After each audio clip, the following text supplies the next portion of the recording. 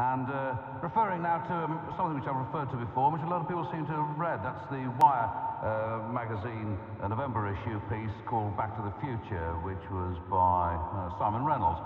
In the course of which he says, well, just the, the thing at the top of it says, the spent forces of grunge and lo-fi giving way to a new impulse in American post-rock. It says groups such as Tortoise, Labradford Stars of the Lid, and Babylon Blitz are rewiring rock according to European space rock, avant-garde and ambient sound design. And uh, it's most interesting piece instructive too. And uh. Well, then thought themselves